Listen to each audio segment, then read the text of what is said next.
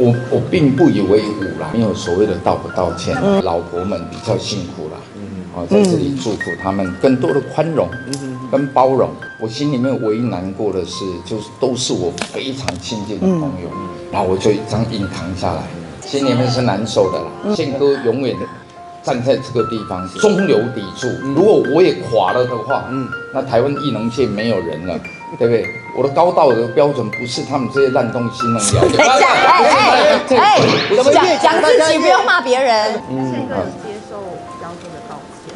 诶，我我并不以为忤啦，所以就也没有所谓的道不道歉。嗯，对，嗯，提告是律师的事，不是我的事。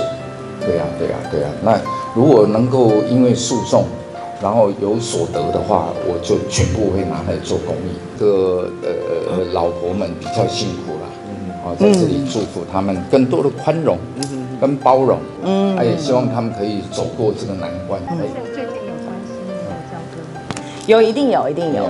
那因为对我来说，我身为管辈，我就是能做我能做的，对，然后给予关心跟支持，这部分我也都是跟有跟耿如联络，对，然后也问看看我需要什么样的帮忙，这样子，对，那我对于所有的事情也是像信哥一样，就是抱持着祝福的心情，因为我们身为晚辈，宽容也是宽容不变评论，太多了。对对，那就是希望每一个人，然后每个事件都可以圆满，嗯我心里面唯一难过的是，就是都是我非常亲近的朋友，对，怎么我我需要用几十年的时间才知道我在你们的心里面是被误解的嘛？